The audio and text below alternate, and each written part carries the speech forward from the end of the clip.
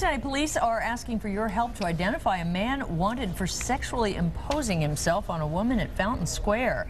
9 News reporter Bill Price is live at Fountain Square with what you need to know to help police and protect yourself and your family. Bill? Well, Carol, Cincinnati police officers who work downtown are hoping to capture this man before he can victimize any other women. And then late this afternoon, they gave us surveillance video of a possible suspect that they're now looking for. And what they tell us is a 36-year-old woman was entering the Fountain Square garage around 11 o'clock Tuesday morning. She says the uh, man followed her from a nearby office building. Once she was in the garage, lifted up her dress and grabbed her buttocks. So take a very close look at the video. You can see the man in the video is older and balding.